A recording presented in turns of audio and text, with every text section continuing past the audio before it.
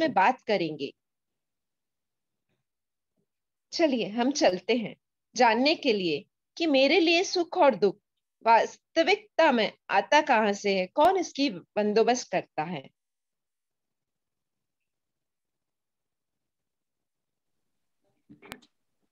Thank you Reshu ji.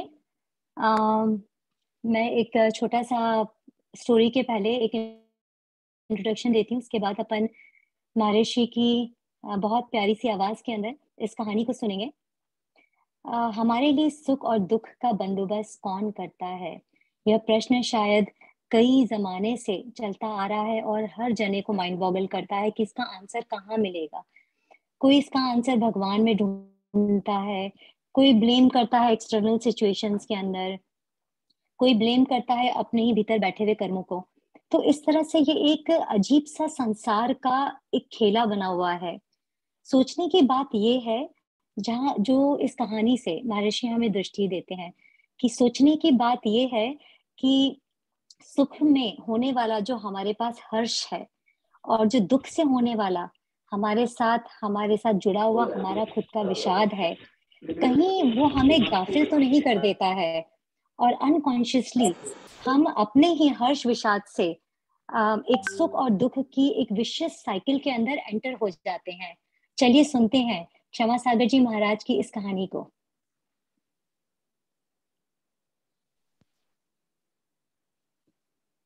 बात।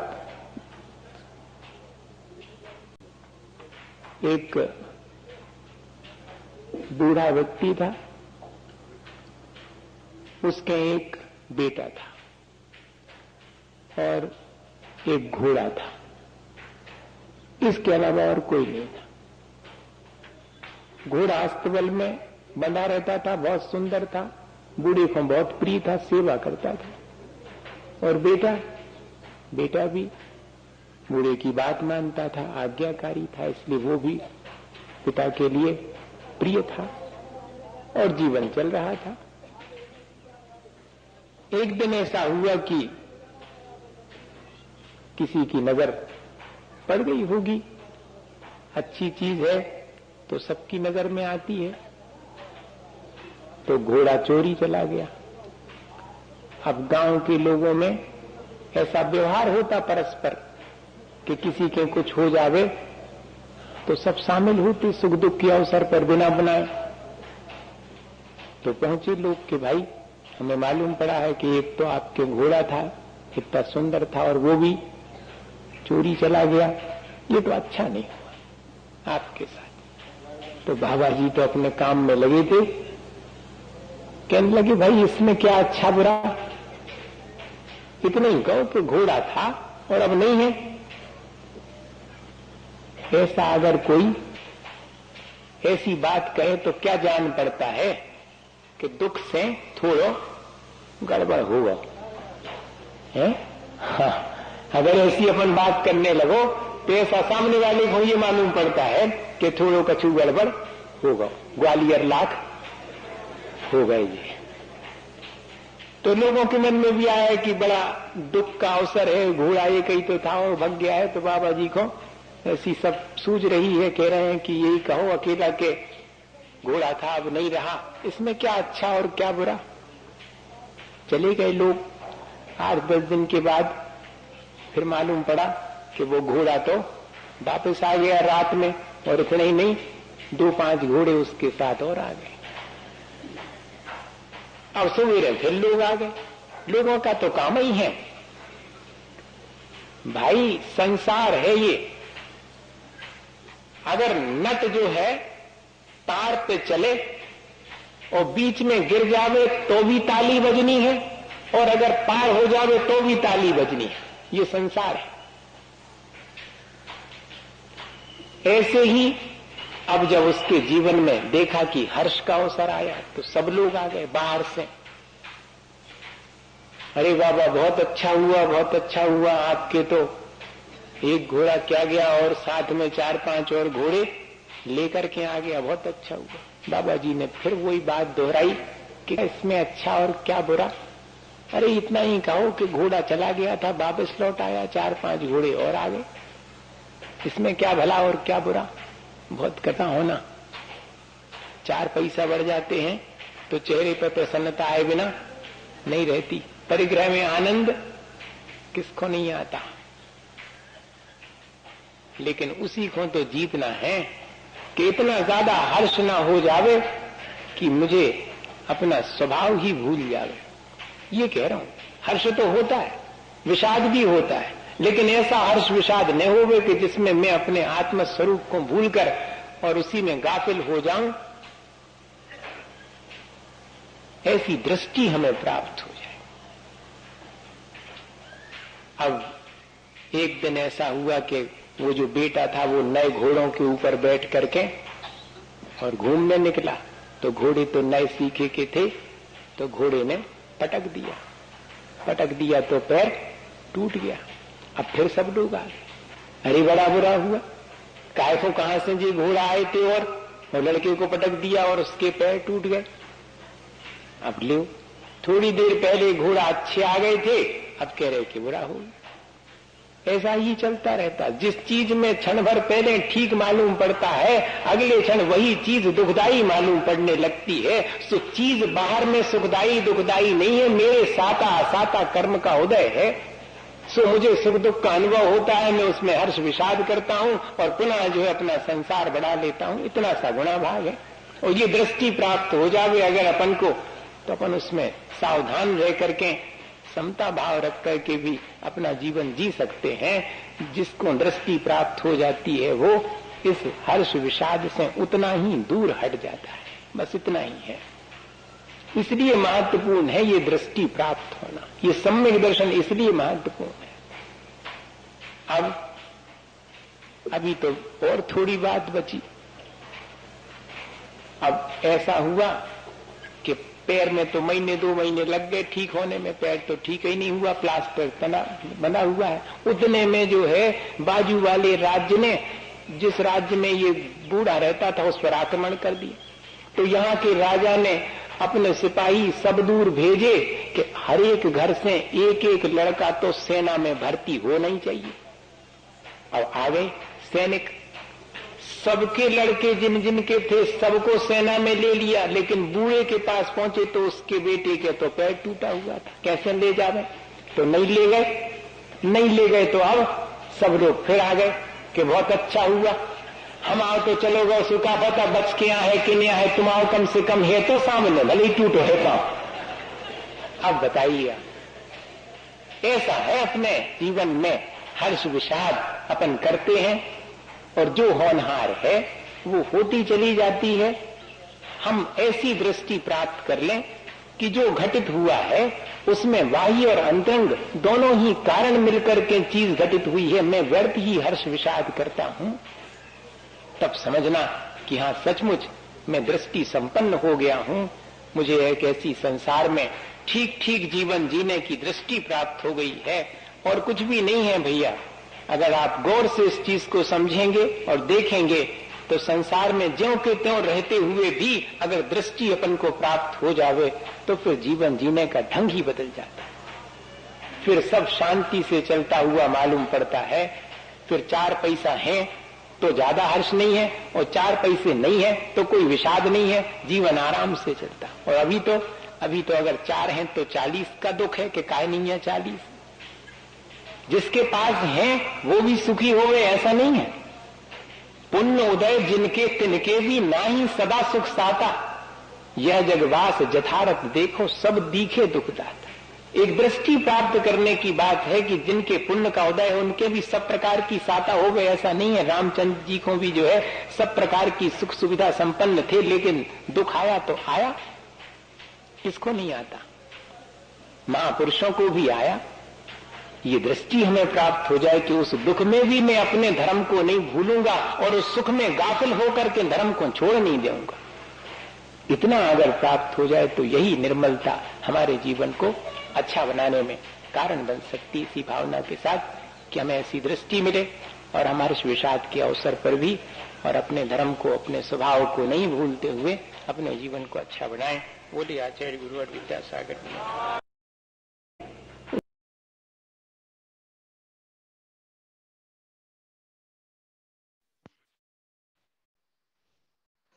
जय जिनेन तो आपने सुना कितनी प्यारी कहानी थी। और ये कहानी कहानी से जय जी को। सुरभि आप बोल रहे हो?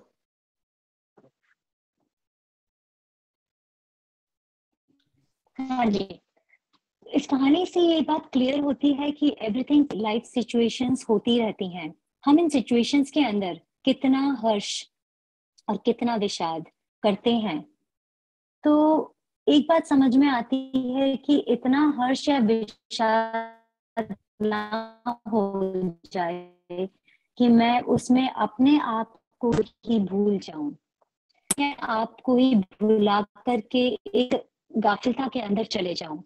ऐसी दृष्टि प्राप्त होनी चाहिए ताकि हम किसी भी हालत में अपने आत्म स्वरूप को नहीं भूलें।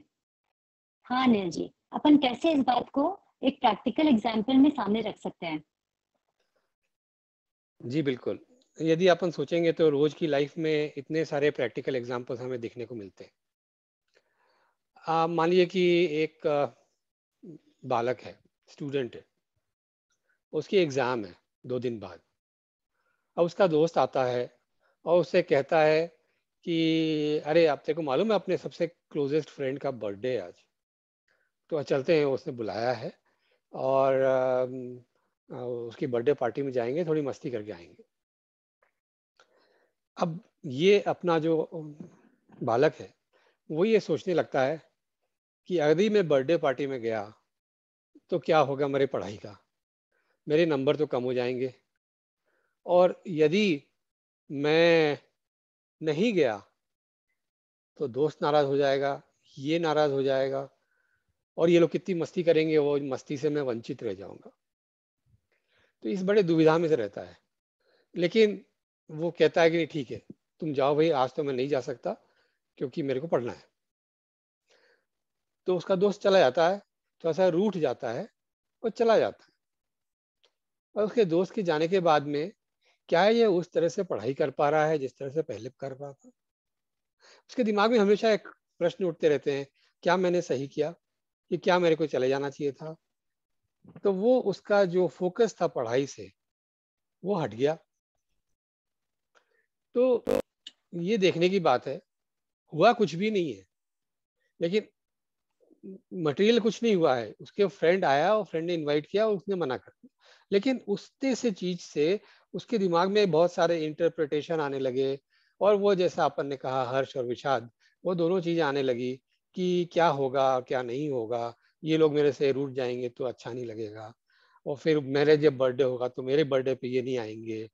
और इस तरह से सोचता रहा और उसने अपना प्रेजेंट टाइम बर्बाद कर दिया।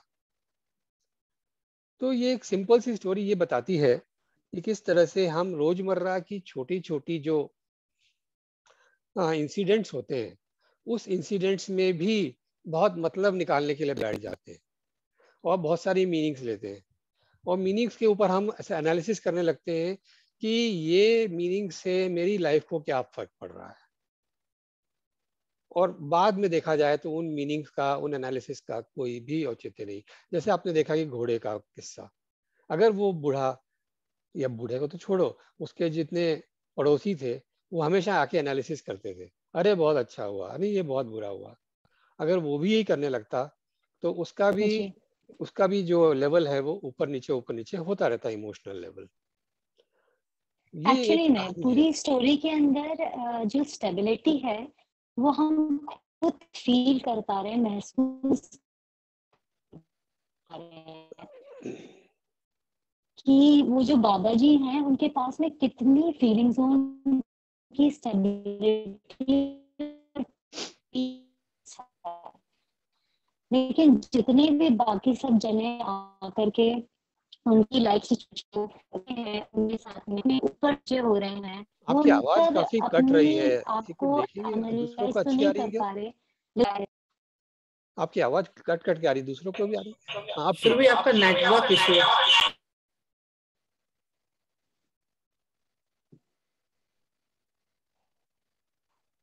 ओके okay, अभी क्लियर है क्या? हाँ बेटर है थोड़ी। ओके परफेक्ट हाँ नहीं, मैं आपकी बात को ही कंटिन्यू करके कह रही हूँ कि जो बाबा जी हैं, उनका स्टेबल स्टेट और उस स्टेबल स्टेट से हम लोगों के अंदर जो आज अनुभव हो रहा है कि कितना पीस ऑफ़ माइंड उनके पास होगा कि वो सिचुएशन को जैसी है, बस वैसी देख पा रहे हैं और वैसी समझकर एक प्रोसेस करके आगे बढ़ रहे हैं। उसमें अपना पर्सपेक्टिव नहीं दे रहे। और बाकी जितने भी जने हैं, वहाँ पर आकर के जो हंस रहे हैं, गा रहे हैं, रो रहे हैं सिचुएशंस को लेकर वो केवल एक जैसे हवा के झोंके की तरफ़ बहते चले जा रहे हैं। और प्रश्न ये है कि हमारी लाइफ के साथ भी कहीं ऐसा तो नहीं हो रहा कि बस हवा का झोंका जिस तरफ़, जिस तरह से उड़ा, बढ़ा, हम उसी में ही बह चले, हम उसी में ही आगे बढ़ चले। हमारे भीतर अगर रिजेंटमेंट है कोई चीज़ों को लेकर तो कहीं हमारे रिएक्शन सारे रिजेंटमेंट में तो नहीं निकलते। कहीं हम सिचुएशंस को एनालाइज अपनी रिजेंटमेंट से तो नहीं करते। अगर हम किसी दिन बहुत खुश हैं तो आसपास की सिचुएशंस हमें बहुत अच्छी लगने लगती हैं। वही चीज़ जो हमें शायद किसी समय पर क्रोध दिला सकती थी, लेकिन आज हम अच्छे मूड में हैं तो इतना क्रोध नहीं दिला पाती।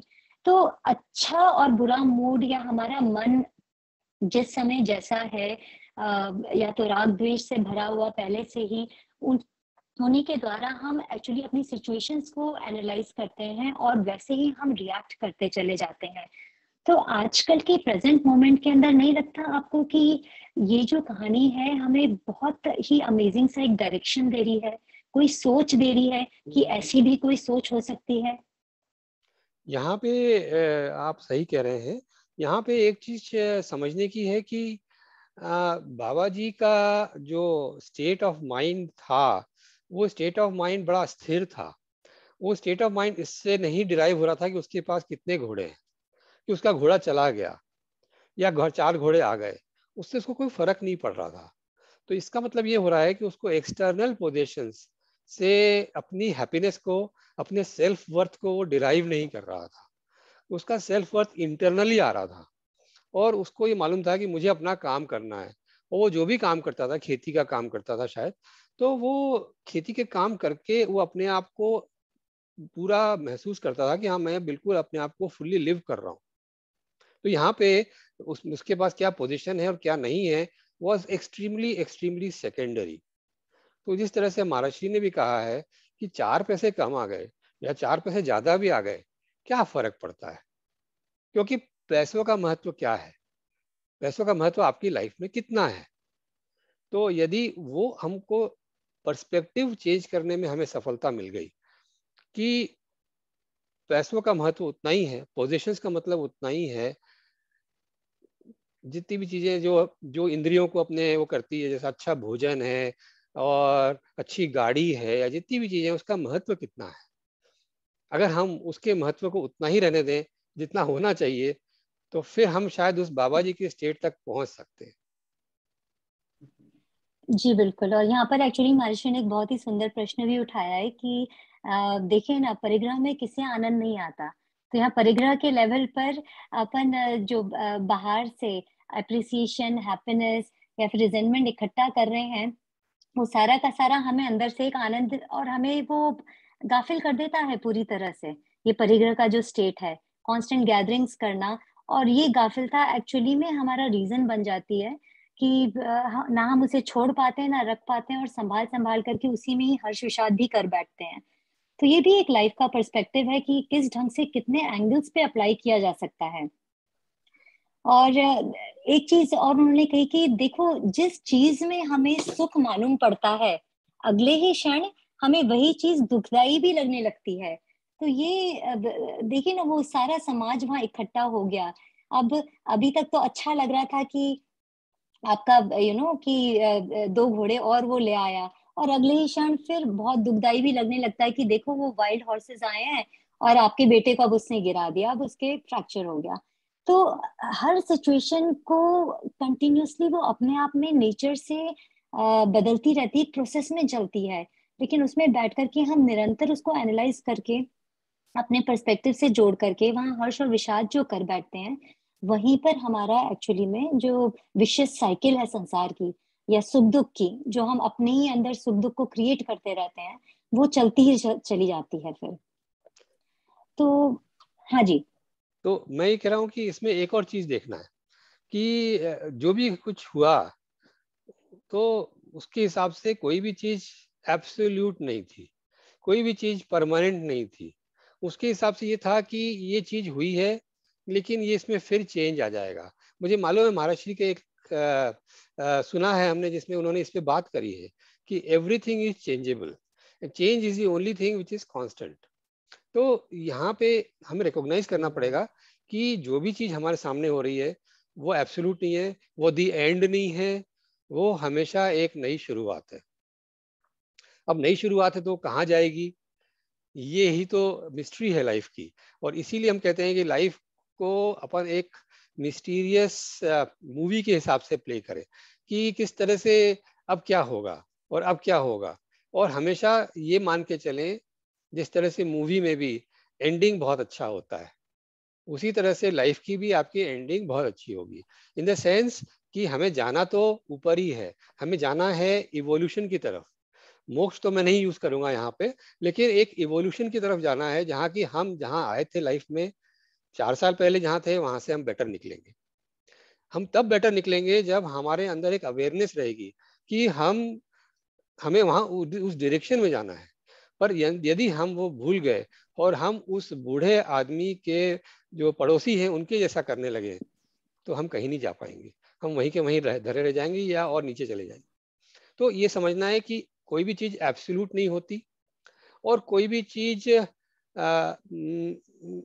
हम और दूसरी चीज़ कि हर एक हर एक चीज़ इंटरकनेक्टेड होती है। आपने देखा कितना प्यारी कहानी है सब चीज़ें एक दूसरे से कनेक्टेड हो गई। तो यदि उसका घोड़ा नहीं भागता तो उसके बेटे को सेना में जाना पड़ता। तो वहाँ से शुरू हुई पूरा प्रोसेस है ये वहाँ से शुरू हुई everything is beautifully interconnected in nature and we have to trust nature we have to trust nature की things are going to turn out the way they should turn out and जो भी हमारे लिए बेहतर होगा वो होगा। अब एक और चीज़ है यहाँ पे जो है वो डुअलिटी की बात मैं कर रहा हूँ कि एक आ, उसने कभी भी कोई चीज़ को डुअल नहीं समझा कोई उसने ये नहीं सोचा कि ये तुम हो ये मैं हूँ। उसने बोला कि सब चीज़ें इंटरकनेक्टेड है और सब चीज़ें मेरी है और मैं सब में हूँ। इसके ऊपर बोलिए आप क्या कहते हैं? नहीं बिल्कुल सही बात है। एक्चुअली में जब जब डुअलिटी का प्रश्न आता है, हम अपने आप को दूसरों से भिन्न समझते हैं। और उस समय क्या होता है कि सबसे पहला लॉस तो हमारा खुद का ही सेंटर हो जाता है। हमारा खुद का ही जो प्रेजेंस या पीसफुल स्टेट है, जो हमारा समता का स्टेट है, वहाँ पर वो हम अपने आप को कम्प्लीटली लॉस्ट कर देते हैं। और ये जो समता का स्टेट है, अगर ये लॉस्ट होता है तो फिर तो बस वही हवा के झोंके के जैसे हम इधर से उधर बस उड़ते रहते हैं। एक्चुअली में एकदम से आप ये बात सामने रखे तो मुझे एक चीज़ याद आई कि uh, क्या हुआ एक्चुअली में कि uh, मेरी बेटी के साथ में एक इंसिडेंस और बहुत ही एकदम से मुझे लगता है कि ये रिलेट करता है।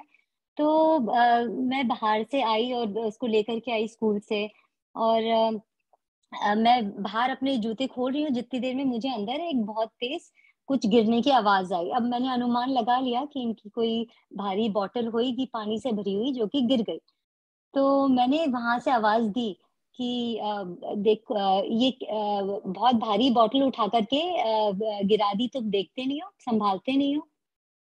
बस मेरा इतना बोलने की देर थी कि वो बिल्कुल ही बिचर गई और वो बोलती कि लगता है आप आप लोग है ना, हमेशा हर चीज़ के अंदर सिर्फ़ मिस्टेक्स ही निकालते हो, आगे कैसे बढ़ना चाहिए ये तो आप लोग देखते ही नहीं हो। तो उस मोमेंट के अंदर मुझे एक्चुअली में जोल बैक लगा और मैंने एक कहानी उसी समय पहले पढ़ी थी। कि मैंने अपने रिजेंटमेंट से रिएक्शन दिया। वो बस हवा बहती चली गई, मेरा रिजेंटमेंट मेरे अंदर चल रहा है पहले कई सिचुएशंस को लेकर के, और वो रिजेंटमेंट मैं अपने आप को तो समझ नहीं पाई, और उसने मुझे इस तरह का रिएक्शन करने के लिए मजबूर किया। तो मैं इमिडिएटली उसके पास गई और मैंने बोला हाँ गुड़िया अच्छा हुआ आपने ये पॉइंट करा। और मैंने उसे बोला कि मुझे शायद सिर्फ़ एक स्टेटमेंट फैक्ट के रूप में यहाँ पर देना चाहिए था कि भारी बॉटल है और गिर गई। इसके अलावा आपका एक्शन पॉइंट क्या था? वो आपके ऊपर था कि आपको किस ढंग से उसको हैंडल करना है। मुझे उस सिचुएशन को कंट्रोल करने की वहाँ ज़रूरत नहीं थी। तो अगेन अनिल जी मतलब मैं तो यही कहूँगी कि इस तरह की सिचुएशंस हम लोग कितनी ज़्यादा लाइफ में यू नो फेस करते हैं और छोटी छोटी चीज़ों के अंदर हम केवल अपने रिजेंटमेंट्स होते हैं गिल्ट होते हैं, ये सब चीज़ें बैकग्राउंड में एक बस फ्लो करती चली जाती हैं। और हमारा जो स्टेबल स्टेट है, जो समता का स्टेट है, वो तो हमें शायद महसूस ही नहीं होता, पता ही नहीं, पकड़ में ही नहीं आता। बस ये हवा में बहते चले जाते हैं। जी, कहिए आप क्या कहेंगे इस पे? बिल्कुल सही कह रहे हैं आप कि ये हमारा जो स्टेट है, वो बिल्कुल ही वैसा है कि समुद्र के ऊपर जो बड़ी बड़ी लहरें आती है, वो लहरों वाला स्टेट है। और हम उस लहरों को समुद्र समझ लेते हैं। तो समुद्र जबकि डीप में, बहुत डीप में कितना शांत रहता है। तो यदि हम अपनी डेप्थ को पहचानने के लिए तैयार हो जाएँ और उसमें सफल हो जाएँ तो हमें दिखेगा कि ऊपर की जो लहरें आ रही है, सिर्फ़ लहरें हैं और फिर लहरें को आए, आने दो, जा रही है, जाने दो।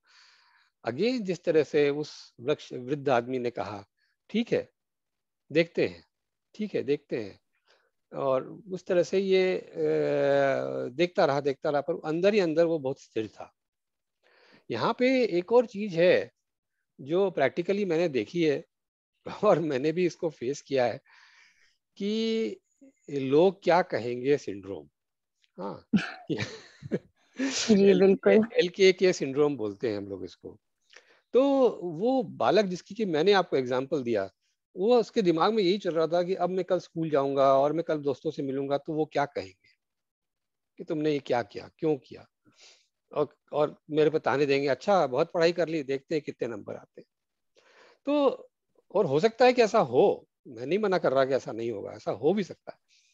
परंतु क्वेश्चन ये है कि यदि हम इस इस फिनोमिनन पे कि लोग क्या कह रहे हैं उसके हिसाब से हम अपने आप को डगमगाते रहें और हम अपना डायरेक्शन चेंज करते रहें तो अल्टीमेटली नुकसान तो हमारा ही होना है। डायरेक्शन तो हमें मिलेगा नहीं। और जिस तरह से हमने कहा था कि हमें इवोल्यूशन करके जाना है, आगे, हमें आगे बढ़ना है, वो तो कुछ भी नहीं हो पाएगा। तो हमें ये एक्चुअली थोड़ी सी बगावत की स्थिति लानी पड़ेगी कि लोग क्या कहेंगे, ये सेकेंडरी है। मेरे को अंदर से क्या फील होता है? मेरा विवेक क्या कहता है? मुझे किस तरह के कर्म करने हैं? ये सारी चीज़ों का डिसीज़न मेरा रहेगा और किसी का नहीं रहेगा। इसीलिए यहाँ पे एक और बहुत डीप थॉट है कि ये रियलाइज़ हो जाना चाहिए कि सिर्फ़ आप ही इस संसार में हो और कोई नहीं है। क्योंकि यदि आपको ये रियलाइजेशन हो जाता है कि आप ही संसार में हो और कोई नहीं, आप सोचिए, यदि आप एक टापू पे हो, कहीं आपका शिपरेक हो गया है, आप एक छोटे से टापू पे पहुँच गए, वहाँ कोई नहीं रहता। हो सकता है कि कुछ जानवर रहते हैं उनसे अपने कोई परेशानी नहीं है। हाँ परेशानी आती है जब दूसरे मानव जाति के लोग पहुँच जाते हैं। तो तो तो क्योंकि जानवर तो बोल नहीं सकते। कॉन्फ्लिक्ट्स वहीं चालू होते हैं जानवरों के साथ कॉन्फ्लिक्ट नहीं हो सकेगा। जानवर तो कुछ कहते नहीं है। हाँ तो लोग क्या कहेंगे फिर शुरू होता है। तो समझ लीजिए कि आप उस टापू पे हो और टापू पे पहुँच करके आपको फिर अपने मन की अपने धर्म की और आप, आपको जो ठीक लगता है वो करने की पूरी आज़ादी रहती है। आपको सोचना ही नहीं पड़ता। और आप करते हो। वही चीज़ अभी क्यों नहीं हो सकती? वही चीज़ अभी क्यों नहीं हो सकती? तो इसकी कला इसकी स्किल्स इंटरपर्सनल स्किल्स और वो सब एक अलग ही स्टोरी है। कभी और बात करेंगे कि किस तरह से हम वो काम कर सकते हैं जो हम चाहते हैं और लोगों को अभी परेशानी ना हो। पर सबसे जी बिल्कुल। और एक्चुअली महर्षि ने इसी फिनोमिन को बहुत ही सुंदर शब्दों में कहा है। उन्होंने शब्द दिया है हमें समता भाव, है ना? तो समता भाव के लिए निर्मल दृष्टि होना ज़रूरी है। दृष्टि की निर्मलता अगर हमारे भीतर आती है तो अपने आप ही हमको सब चीज़ें स्वच्छता से दिखने लगती हैं। और वहाँ पर हम फिर अपने अपने खुद के राग द्वेश को भी एक्चुअली बहुत इजीली हम फिर देख पाते हैं। तो इस प्रकार से अपने भीतर की कॉम्प्लेक्सिटीज को पहचानना, हटाना और अपने भीतर के ही निर्मल स्वभाव को पहचानना, उसी से ही हमारी लाइफ का पर्सपेक्टिव जो चीज़ जैसी है, वैसे देखने का मौका हमारे अंदर की ही निर्मल दृष्टि दे सकेगी। हमारे अंदर की complexities resentments guilt blaming states इन सब चीज़ों से कभी भी हमारी दृष्टि निर्मल नहीं हो सकेगी। हम हमेशा फिर चीज़ों को अपने ही उस पोल्यूटेड पर्सपेक्टिव से ही देखते रहेंगे। तो की रोल तो उन्होंने अपने पर्सपेक्टिव देख चीज़ों को देखना और स्वच्छता से देखना, तभी जब अपने भीतर हम अपने आप को स्वच्छ यू नो धीरे धीरे अपने भीतर की सफ़ाई करेंगे। तभी शायद वो दृष्टि जो बाबा जी के पास है कि हाँ भाई, घोड़ा आया, घोड़ा अब गया। वो गया था, दो घोड़ों को और लेकर के आया, कोई बात नहीं। तो वो इतना प्यारा सा जो उनका स्टेबल स्टेट है, वो तभी हमारे भीतर आ सकेगा, जब हमारे भीतर उस निर्मलता की, उस स्वच्छता की कहीं ना कहीं कोई अनुभव का स्टेट उत्पन्न होएगा। तो काम तो भीतर ही होना है। और बस वही बात जो आपने भी रिपीट करी महर्षि की कि हो जाए तो यही एक्चुअली में निर्मल दृष्टि का हमारे भीतर यू नो समावेश होना वहाँ पर वो होता है। तो लाइफ सिचुएशंस में हम किस ढंग से रिएक्ट करते हैं, किस ढंग से हम चीज़ों को परस्पेक्टिव में लेकर आते हैं, यही हमें बताता है कि हमारे भीतर क्या घट रहा है। अगर बाहर हमें हर चीज़ गिल्ट की नज़र से दिखती है ब्लेम दिखती है ट्रेजिडी दिखती है तो वो बाहर नहीं हो रहा वो सब हमारी ही दृष्टि का खेल है। यहाँ पे आखिरी मैं ये चीज़ कहूँगा उसके बाद हम ज़रूर जितने भी पार्टिसिपेंट्स हैं उनकी भी बात सुनेंगे। तो बेसिकली अब हमारे मेरे दिमाग में हमेशा ये रहता है कि ये चीज़ समझ तो आ गई इसको इम्प्लीमेंट कैसे करना है? कि किस तरह से हम कल से कुछ ऐसा नया कर सकते हैं जिससे कि ये चीज़ हम कर सकें। नहीं तो हमारा आज का समय व्यर्थ हो जाता है। तो अगर आप देखिए एक छोटा बच्चा है, छोटे बच्चे को आप चॉकलेट नहीं दो तो उसका इमोशनल स्टेट पूरा चेंज हो जाता है। वो बहुत बिखर जाता है, बहुत परेशान हो जाता है। पर हमारे साथ तो नहीं होता कि हमें चॉकलेट नहीं मिली तो ऐसा नहीं हुआ। क्यों नहीं होता है? वो इसलिए नहीं होता है क्योंकि हमारा आज हमारा अंदर की जो प्रायोरिटीज है और हमारे अंदर की जो दृष्टि है और हमारे अंदर की जो गोल्स हैं वो चॉकलेट खाना नहीं है। हमारे अंदर गोल्स दूसरे हैं जो कि जिसके जिसके भी हों कि अच्छा काम करना है या अच्छा बिज़नेस करना है जो भी अलग अलग जो आपका गोल हो। तो ये देखिए कि किस तरह से पर्सपेक्टिव चेंज हो गया बच्चे से लेके यहाँ तक। अब हमें यहाँ जहाँ हम हैं वहाँ से हमारा पर्सपेक्टिव ऐसे चेंज करना है कि हमें ये छोटी छोटी प्रॉब्लम से परेशानी ना हो। कि जैसे अब ग्राहक आके कुछ बोल के चला गया तो हम परेशान हो गए। और ग्राहक ने कहा कि आप तो बेईमानी करते हो, गलत माल बेचते हो। हम परेशान हो गए, हमें रात भर नींद नहीं आई। तो अब हमें इस लेवल से ऊपर उठना है। तो इसीलिए यहाँ हमें डिसाइड करना पड़ेगा कि हम, हमारा एक्चुअल लाइफ का, जीने का जो प्लेन है, जीने का जो पैराडाइम है, जो जीने का पर्पज है, वो क्या है? अगर हमारा पर्पज एलिवेट हो जाता है, जहाँ हम हैं यहाँ से तो फिर ये छोटी छोटी बातें परेशान नहीं करेगी। जैसे वो चार पैसे वाली बात हुई। तो यदि उसका पर्पज होता है कि मेरे को अपनी लाइफ को सुधारना है और अपने अंदरूनी आत्मा की पावर को पाना है या मुझे सारे लोगों का भला करना है तो उससे कोई फ़र्क नहीं पड़ता कि उसका घोड़ा चला गया आ गया। तो आज हमें बैठ करके चिंतन करके ये डिसाइड करना है कि हमारा लाइफ का पर्पस कहाँ जाता है। और अगर लाइफ का पर्पस हमें एलिवेट करेंगे जिससे कि ये छोटी छोटी बातों से कोई फ़र्क नहीं पड़ना। फिर लोग क्या कहेंगे वो भी बहुत बेईमानी हो जाएगा। किसी किसी का कोई मतलब नहीं है। तो लाइफ के पर्पस को डायरेक्टली अपन फोकस करें और देखें कि क्या हम वास्तव में इसी पर्पस में जीना चाहते हैं या इस जरे much higher purpose which we are capable of और जिसकी कि मुझे पूर्ण रूप से विश्वास है कि है हर एक के लिए है। तो इस पर फोकस करें और फिर अपन देखें कि किस तरह से चेंजेस अपने आप आने लगते हैं। बहुत ही सुंदर बिल्कुल। चलिए अब अपन ऑन ओपन करते हैं लाइन कोई भी ऑडियंस में कोई अपने खुद के विचार रखना चाहे या कुछ डिस्कस करना चाहे तो प्लीज़ और मेरी एक आपसे प्रार्थना है कि सब लोग अपने वीडियोस ऑन कर लें। ताकि एक अच्छा सा ग्रुप का पूरा आभास होने लगे। अभी तो सिर्फ़ नाम दिख रहे हैं।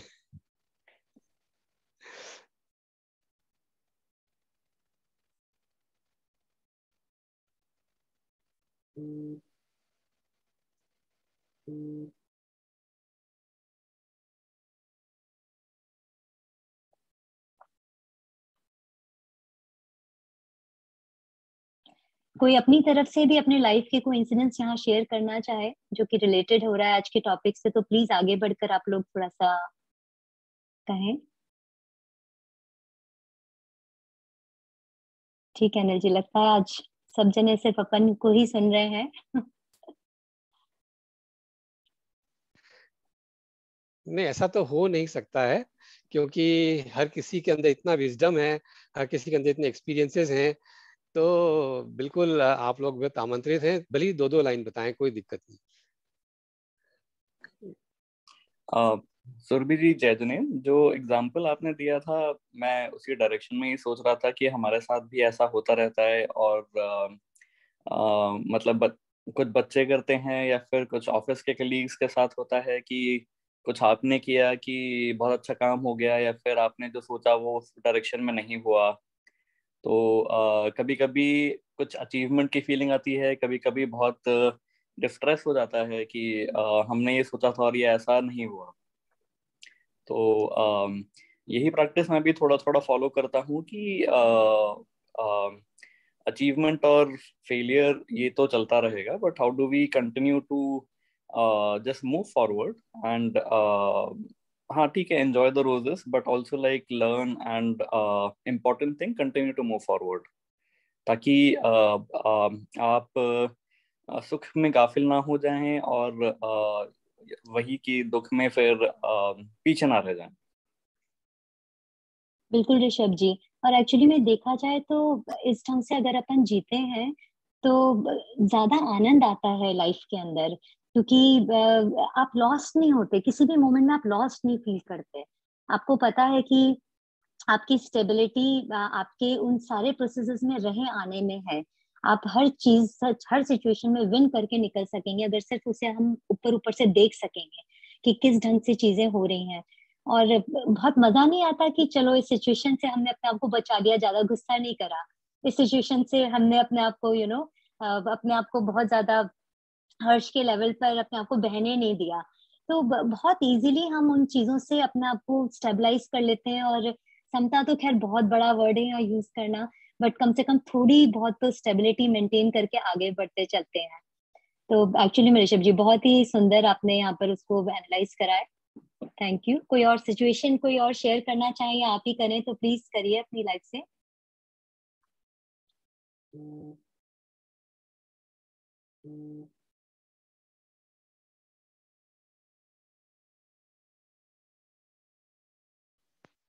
मेरी निशा जी से रिक्वेस्ट है कि वो कुछ कहें। उनको हम लोग बहुत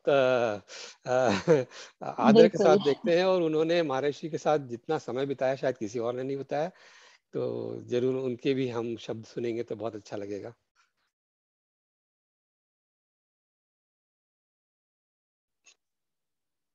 Thank you Anil ji. बहुत बढ़िया आप लोगों ने बहुत अच्छी स्टोरी का सिलेक्शन करा। सबसे पहली बात तो ये है। दूसरा नहीं, सुन मैंने वीडियो नहीं किया। और दूसरा ये है कि हमने, आप जो स्टोरी है वो महाराज जी ने बहुत पावरफुल ढंग से कही है। हम हम, हमारे सारे जीवन में हम हर क्षण, हर घटने वाली घटना के साथ में अपनी ओपिनियन को जोड़ करके और जो डॉक्टर अनिल, आपने बहुत ब्रिलियंटली उसको इंटरप्रेट किया कि कैसे हम उसको, उससे अपनी पूरी लाइफ स्टाइल ही बदल लेते हैं। हम अपने जीवन की दिशा बदल लेते हैं, हम अपना सोच बदल लेते हैं, हम अपने निर्णय बदल लेते हैं। जो जो भी घटता रहता है समसामायिक घटता है। बट ये स्टोरी इतनी पावरफुल है, इतनी बढ़िया महाराज जी ने बोली है और उनके प्रवचन और उनके उससे सुनना तो अद्भुत है।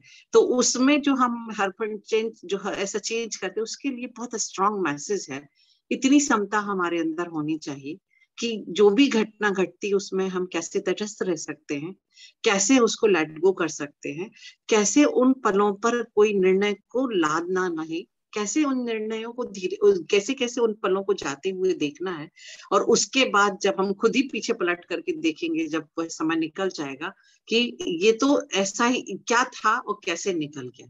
तो ये चीज़ें हमारे लाइफ के लिए बहुत बड़ी लर्निंग है।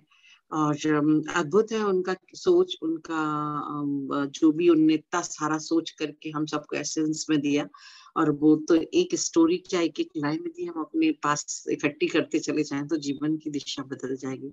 So thank you very much Survi and doctor Anil बहुत बढ़िया। जी दीदी थैंक यू सो मच बहुत ही सुंदर ढंग से आपने और सिंपल वर्ड्स के अंदर आ, आ, सारी बात मारेशी की स्टेट करी है।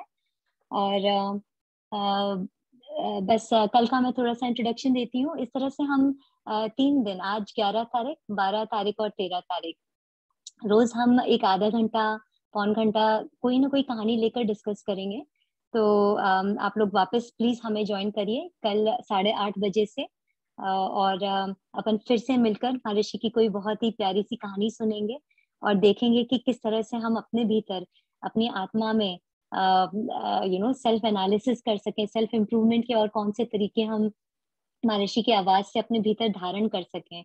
तो बस इसी भावना के साथ में चलिए दीदी मैं बस एंड करती हूँ सेशन एक नमोकार मंत्र बोल लेते हैं अपन। बिल्कुल। ठीक है।